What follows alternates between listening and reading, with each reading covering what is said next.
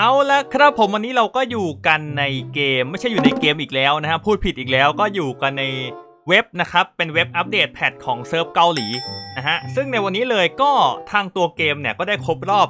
2.5 ปีนะครับ ก็เป็น 2 ปีครึ่งของทาง 7 บาปเกมนี้นะฮะก็แสดงความยินดีกับ Net Marble ด้วยนะครับ ที่ครบรอบ 2.5 ปีนะแต่ก็ไม่ขอแล้วมาก ผมขอให้เลทอย่าเกลือมัน 2.5 ปีแล้วอะครับ ทุกคนนะมันเลทมันต้องไม่เกลือแล้วแหละ นะฮะก็ขออย่างเดียวนะ Net Marble ขออย่าเกลือเลยเลทอะคือมันเกลือมาทุกตู้แล้วผมเนี่ยนะครับ ผมขอแค่นี้พอไม่ขออะไรเยอะ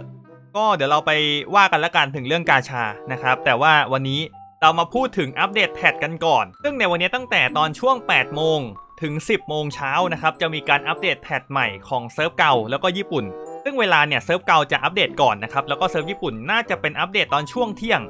นะมา เรามาดูอัปเดต patch กันว่ามีอะไรบ้างนะครับ patch นี้ อย่างแรกเลยนะฮะทุกคนก็น่าจะรู้กันอยู่แล้วว่า patch นี้ย่อมมีตัวละครใหม่เสมอ ซึ่งแน่นอนว่าตัวละครใหม่ที่เข้ามาเนี่ยก็เป็นตัวละคร King Fes เป็นร่างปีกที่แท้ true ทุกคนก็น่าจะได้เห็นแอนิเมชันของสกิลไปแล้ว ในไลฟ์สตรีมเมื่อวานของทางเซิร์ฟนอก แต่ว่าในวันนี้เรามาพูดถึงสกิลอีกรอบหนึ่งแล้วกันเผื่อคนไหนที่ไม่ได้ดูไลฟ์สตรีมของญี่ปุ่นหรือว่าเกาหลีเมื่อวาน อะนะครับเลื่อนลงมาเลย ผมจะพูดไล่ลงไปเลยแล้วกันนะครับ ตั้งแต่อันแรกจนถึงอันสุดท้ายนะฮะคือไล่ลงไปเลย มันจะได้ไม่งงไงอันแรกเลยก็เป็นเป็นชุด costume แฟชั่น rerun นะครับก็เป็นเซต legend หรือว่าเซตนี้นะฮะนี่ เป็นเซต legend ทั้งหมดเลยนะครับเนี่ยเป็นของ 10บัญญัติ แล้วก็เซตที่ 2 ที่ rerun เข้ามาเพิ่มเติมจะเป็นชุดของ Black Flame นะครับนี่เนี่ยชุดเนี้ยเท่ผมชอบเซตนี้มาก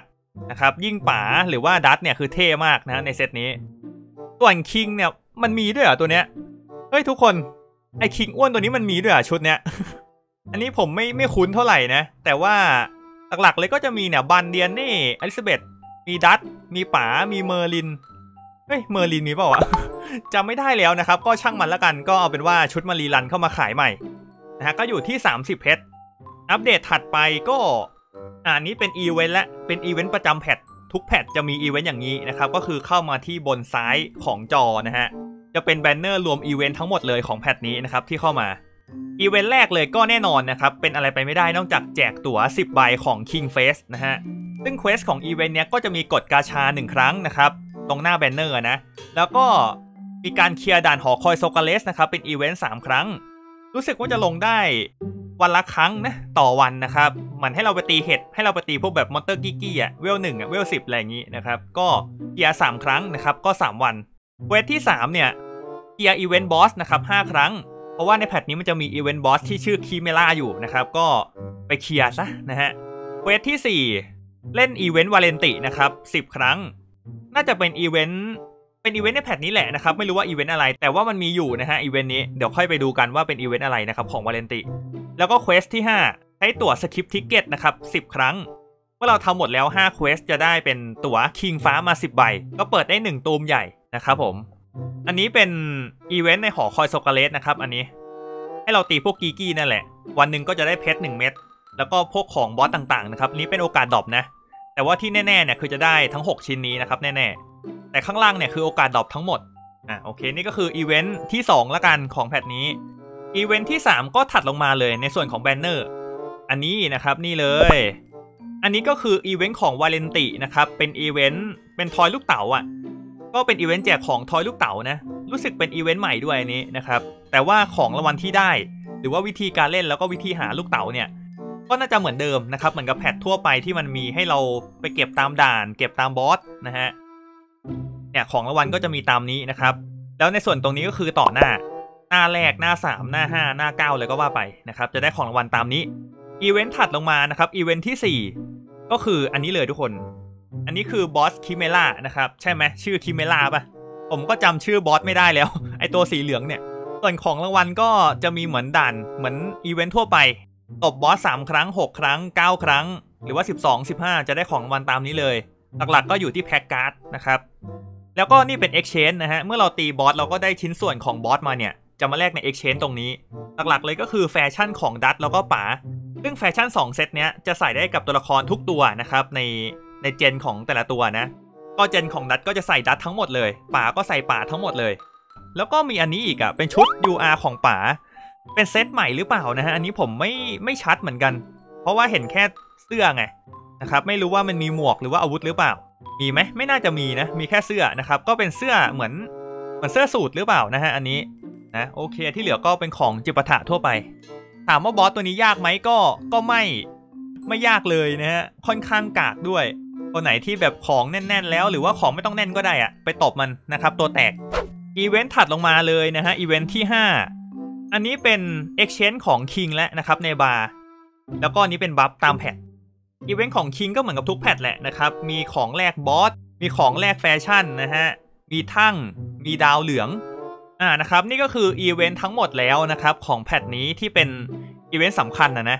รู้สึกอันนี้คืออะไรอ่านี่เป็น Hawk Pass แล้วนะครับอืมก็เหมือน Hawk Pass ทั่วไปอะแจกการ์ดแจกเพชรแล้วก็แจก skin ของอืมเดี๋ยวก่อนนะ ไม่มี skin ชุดแม่ครัวของน้องเมเกอร์ด้าด้วยอะ่ะโอ้ของมันต้องมีนะครับ ทุกคนอย่าลืมแลกกันด้วยนะฮะใช้ 1,400 แต้มในการแลกก็อย่าลืมมาแลกกันด้วยนะฮะอย่าพลาด เพราะว่าพลาดเนี่ยเท่ากับหยาบ โอเคนะครับหมดแล้วนะครับนี่ก็คืออีเวนต์ทั้งหมดเป็นอีเวนต์ใหญ่ทั้งหมดนะของ patch นี้นะครับ patch 2ปีครึ่งอะเลื่อนลงมาเลยนะครับก็เป็นส่วนของเนื้อเรื่องและ เนื้อเรื่องอันนี้คือบุตรแห่งความหวังนะครับก็เป็นเนื้อเรื่องของอาเธอร์ผมคิดว่าอย่างนั้นนะฮะก็เหมือนกับเขาเรียกว่าอะไรอะเป็นรักสามเศร้านะฮะก็เดี๋ยวไปดูกันในอนิเมะแล้วกันนะครับไม่ spoil spoil แค่นี้พอโอเค แล้วก็นี่เลยทุกคนทีเด็ดของ patch นี้ก็คือตัวละครใหม่หนึ่งตัวในครึ่งแรก ผมไม่รู้ว่าครึ่งสองจะมีหรือเปล่า แต่ว่า patch นี้มีสองครึ่ง ก็คือครึ่งแรกก็คือครึ่งนี้ แล้วก็ครึ่งสองเนี่ยก็ไปรออีกน่าจะประมาณอาทิตย์หนึ่งหรือว่าสองอาทิตย์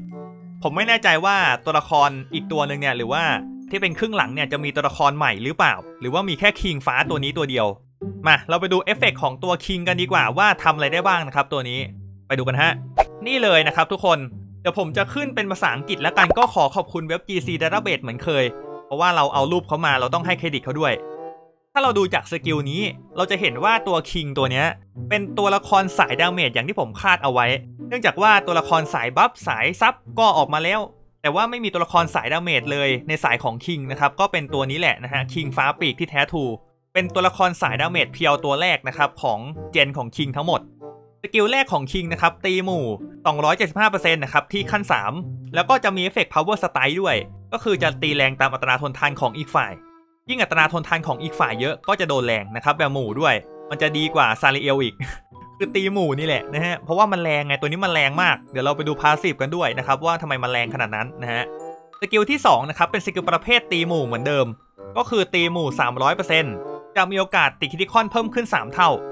ก็เป็น skill สาย damage นะทั้งสอง skill เนี่ยคือแตกต่างจากคิงฟ้า Fes ตัวเก่าที่เป็นปีกเล็กค่อนข้างเยอะมาก คือคนละแนวกันเลยอะ่ะ หรือว่าแตกต่างจากคิงฟ้าที่เป็นตัวฟรีอะที่เป็นสายฮิวอะก็คนละแนวกันเหมือนกันนะครับ ตัวนี้มัน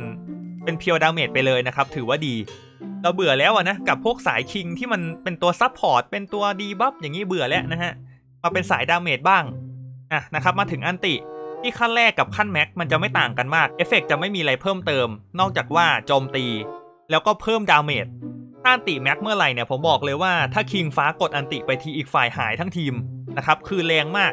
บานรกนี่คือจ่อยนะฮะก็แน่นอนว่าคนไหนที่เป็นสายบานรกอย่างผมเนี่ย ก็น่าจะหยาบพอสมควร เพราะว่าเจอคิงฟ้าตบแน่นอนนะครับ ไม่น่าจะรอดนะ ต้องเปลี่ยนทีมอะนะครับเอฟเฟกของ ulti เนี่ย ตัวคิงจะทำการลบ debuff ของทั้งทีมออกหมดเลยนะครับ ทุกตัว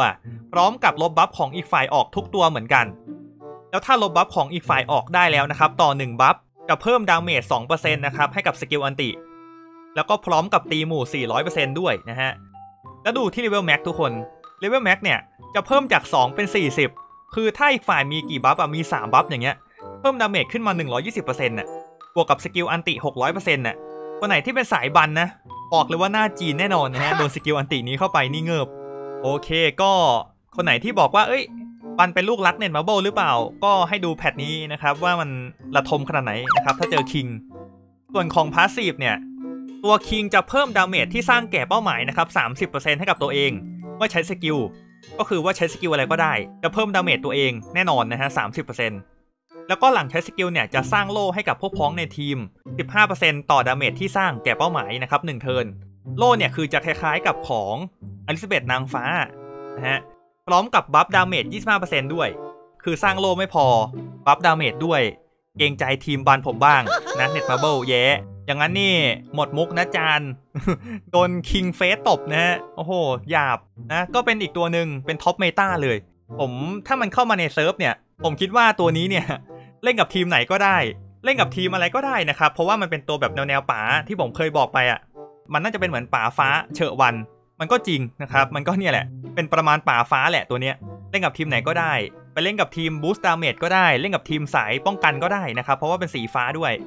โอเคนะฮะก็เอาเรื่องนะตัวนี้ถามว่าอยากได้ไหมก็อยากได้แหละ แต่มันก็อยู่ที่ความเกลือด้วยว่ามันจะเกลือขนาดไหน ผมก็ขอ Netmarble เลยว่าเนี่ยครบรอบ 2 ปีครึ่งเนี่ยคือต้องเปลี่ยน rate ให้มันไม่เกลือได้แล้วนะครับอย่าไปแบบไปกัก rate เลยว่าเอ้ย rate มันเท่านี้แต่ว่ามันไม่เกลือแต่ที่จริงมันเกลือไงนะ Netmarble ขอฝากด้วยแล้วกันมานะครับถัดลงมาเลยก็เป็นแฟชั่นของคิงอะเราดูตู้กันก่อนลืมดูตู้ เราดูตู้กันก่อนนะครับ นี่ตู้กาชานะฮะตัวละครในตู้เนี่ยเดี๋ยวผมจะแปล ตรงนี้เลยละกันเดี๋ยวผมจะกดคลิกขวาแล้วก็ translate ไปเลย คือแบบ เออเรียวๆกันไปเลยอะนะฮะก็จะมีตัวของ Fairy King นะครับอ๋อชื่อว่า Harlequin นะก็เป็น Fairy King Harlequin นะครับหนึ่งตัวเอสคานอหนึ่งตัวนะครับแล้วก็มีอะไรเนี่ยบานล็อกนะฮะตัวที่ 3 ตัวที่ 4 เป็นเมอร์ลิน ส่วนตัวละครที่เหลือเนี่ยก็จะมีเดียนเน่ร่างพาราดินนะนะแล้วก็มีเมอร์ลินมีอะไรอีกเนี่ยเอสคานอร์ะครับตัวละครอื่นๆก็น่าจะเป็นตัวละครที่แบบ ไม่ค่อยเท่าไหร่ เดี๋ยวนะ ลมกรด ลมกรดซาลิเอลเฮ้ย เจอกันอีกแล้วอะเนี่ยถามว่าเบื่อไหมเบื่อ เบื่อมาก หวังว่าเองคงไม่ต้องมาหลอกหลอนพี่ในตอนเปิดกาชานะซาลิเอลนะพี่ขอเถอะอะส่วนการันตีก็เป็นตัวของบันที่ 900 นะครับ แล้วก็มีอาริควีนนะครับ อีกตัวหนึ่งเป็น 2 ตัวนะฮะ มาเราไปดูแฟชั่นของคิงกันหน่อยซิว่ามันเป็นยังไง โอ้โห เดี๋ยวนะ นี่มันชุดเดิมนี่หว่า ชุดตอนที่เป็นตัวร่างเล็กอะแต่ชุดนี้ก็ดูเท่ไปนะดูดิ มันก็ดูเท่ดีนะ แล้วก็มีชุดไอ้นี้ด้วย เป็นชุดของลิโป้ป่ะอันนี้คล้ายๆเลย มีมีหอกมีทวนของลิโป้ด้วยเนี่ย หรือว่ากวนอู ก็ไม่รู้เหมือนกัน แล้วก็ชุด UR ชุดที่ 3 เนี่ยเป็นชุดนี้เลย โอ้โหโจรสลัดอย่างเท่อะครับ ทุกคน สาย dark นะนี่สาย dark แล้วก็ชุดนี้มันไม่ใช่ชุด limited นะครับ ก็คือว่าถ้าหมดไปแล้วเนี่ย มันก็จะเปิดเป็นเพชรให้ซื้อด้วยนะครับ30 เพชรเหมือนเดิม อะถัดลงมาเลยก็เป็นในส่วนของแฟชั่นของเมอร์ลินละ เป็น Seeker เมอร์ลิน เป็นเจนใหม่นะของเมอร์ลินนะครับ อีก 2 ชุด ก็มาให้เราสอยกันนะฮะเซตน้องเมอร์ลิน เลื่อนลงมาก็เป็นส่วนของการเติมเงินแล้วนะครับ เนี่ยเติมเงินทั้งหมดเลยนะครับ ตั้งแต่ตรงตั้งแต่ตรงนี้นะครับ เนี่ยตรงเนี้ยเติมเงินทั้งหมดนะครับเลื่อนลงมาถึงนี่นะฮะก็เป็นในส่วนของเหรียญนะครับเหรียญช็อปก็เพิ่มเหรียญต่างๆ ตัวเฟสไปให้เราแลกนะครับสามเหรียญเหมือนเดิม อ่านะครับนี่มาส่วนของปรับปรุงระบบบ้างแล้วเขาก็ได้เพิ่มในส่วนของระบบหลอมดาวเหลืองขึ้นมา ก็คือใช้วัตถุดิบตามในภาพนี้เลย มีจอก แล้วก็มีพวกของอเวกอะไรต่างๆนะครับเนี่ยก็มาเปลี่ยนจากของพวกนี้ที่มันลกกระเป๋าอยู่เนี่ย เป็นดาวเหลืองได้เพื่อมาเก็บไว้ มันจะได้ไม่ลกกระเป๋าไงมันก็เป็นระบบที่ดีนะระบบเนี่ยช่วยคนที่แบบกระเป๋าไม่ได้เยอะมาก หรือว่าคนไหนที่มันมันเยอะเกินไป อัพจนตันแล้วมันก็ใช้ไม่พอเนี่ยก็นี่แหละระบบนี้แหละ มาช่วยเราได้นะครับ ถือว่าดี เลื่อนลงมาเลยเนี่ย ก็เป็นส่วนของ Holy Relic นะครับ ของ l o x y นะครับ ตามกรอบนี้เลยนะ ของ l o x y แล้วก็ของ Slader นะครับ2ตัวของ l o x y เนี่ยคือเขาบอกว่าไม่มีความสามารถพิเศษอะไรเลยนะครับ แต่ว่าเพิ่มในส่วนของ stat พื้นฐานเนี่ย ถือว่าเยอะมากๆ กว่า Holy Relic ชิ้นอื่นๆ ส่วน Slader เนี่ย คือเมื่อตีติด critical นะครับ จะเพิ่มพลังโจมตีตัวเองนะครับ 15%แล้วก็จะ stack ทั้งหมด 5 ครั้ง แต่รู้สึกจะไม่มีของคิงนะตอนนี้เหมือนจะไม่มีของคิงนะครับก็ต้องรอกันต่อไป ผมคิดว่าน่าจะเข้ามาใน patch part ที่ 2 ก็ต้องรอดูกันนะนะว่ามันจะเข้ามาหรือเปล่า แต่เข้ามาแน่แหละ แต่ว่ามันจะนานมันจะช้าก็อยู่ที่แย้อะเลื่อนลงมาเลยนะครับก็คือแพ็กการ์ดฉลอง 2 ปีครึ่งนะครับของทางตัวเกมนะฮะจะเพิ่มเข้ามา 5 แพ็คส่วนวิธีได้รับเนี่ยก็จะอยู่ที่อีเวนต์นะครับจะเป็นอีเวนต์ตีบอสอีเวนต์วาเลนตินี่ก็เป็นบอสกิลด์นะครับไม่มีแล้วมาก แล้วก็เพิ่มระดับ hell มาด้วยนะปัจจุบัน อัปเดตถัดไปก็จะเป็นในส่วนของการเพิ่มระบบดูข้อมูลหินมานา ของกลุ่มดาว 7 กลุ่มดาวนะฮะอันนี้คือไม่ใช่ว่าเพิ่มตัดนะ อันนี้คือเป็นหน้าดูข้อมูลเฉยๆนะครับเนี่ยตามภาพที่ 2 เลยนะครับ เป็นแค่ดูข้อมูลถัดลงมาเลยนะครับ ก็เป็นระบบปรับในส่วนของความสำเร็จเขาก็จะมีการเพิ่มความน่าจะเป็นด้วย ทั้งการตีบวก แล้วก็การทำอาหาร จะมีเปอร์เซ็นต์การเพิ่มความสำเร็จ ทั้งคูณ 2 หรือว่าเพิ่มในส่วนของตัดของอุปกรณ์ด้วย อะนะครับถัดไปก็จะมีการเพิ่มจำนวนขวดเหล้าต่อวัน เพิ่มขึ้น 3 ขวดนะฮะต่อการกด 1 รอบนะ แล้วก็มีการเปิดหลายแพ็คคือแต่ก่อนเนี่ยแพทเดิมๆมันจะเปิดได้แค่ครั้งทีละใบต่อซองใช่ไหมล่ะ แต่ว่ารอบเนี่ยเขาเปลี่ยนใหม่ก็คือกดทีเดียวไปเลยครับผมอะเลื่อนลงมาเลยนะฮะระบบที่ 3 ตรงนี้นะครับนี่ตามเมาส์ผมเนี่ยนะครับเขาก็บอกว่าเป็นการเพิ่มระบบการถอดอุปกรณ์ทั้งหมด แล้วก็ระบบที่ 4 ที่เพิ่มขึ้นมาเนี่ยในรูปนี้เลย คือเป็นฟังก์ชันดูของรางวัลทั้งหมดในด่าน ไม่ใช่ว่าแจกเพชรนะไม่ใช่ อันนี้เป็นฟังก์ชันดูของรางวัลทั้งหมดในด่านนะฮะว่าด่านเนี้ยแจกเพชรเท่าไหร่ต้องได้อะไรบ้างได้ตั๋วได้อะไรอย่างนี้ได้ตัวละครก็มาดูตรงนี้ได้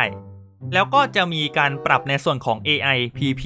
ให้มันฉลาดมากขึ้นใช้การ์ดฉลาดมากขึ้น แล้วก็สติกเกอร์เนี่ยมันไม่น่าจะได้กดแล้วนะครับเพราะว่าเหมือนเขาออกนะฮะเห็นเขาบอกในนี้อะนะผมไม่รู้ว่าเอาออกจริงหรือเปล่า แต่ว่าเขาบอกเนี่ย เขาจะปรับในส่วนของ emo นะครับ หรือว่าสติกเกอร์ แล้วก็การรีเซ็ตการ์ดนะ มันจะใช้ฉลาดมากขึ้นอะ บอทอะ ผมเบื่อแล้วแบบอะไรเดิมๆ ที่มันแบบมันกากเกินไป ความท้าทายไม่มีเลยเนี่ย ก็อยากให้ปรับบอทให้มันเก่งมากขึ้น หรือว่าเจอกับคนมากขึ้นก็ดีมากนะครับ เพราะว่าผมไม่อยากตบบอทแล้ว มันผมมันเก่งเกินไปไง ไปตบบอทเนี่ยมันก็แบบมันไม่ใช่ไง เพราะว่าตบคนก็ชนะอยู่แล้ว ไปตบบอทก็ชนะหนักเข้าไปใหญ่อย่างนี้ มันก็เบื่อเนาะ อืม ส่วนที่เหลือก็ไม่มีอะไรละนะครับ เป็นการแก้บั๊กทั้งแพท King of Fighter ตัวละคร King of Fighter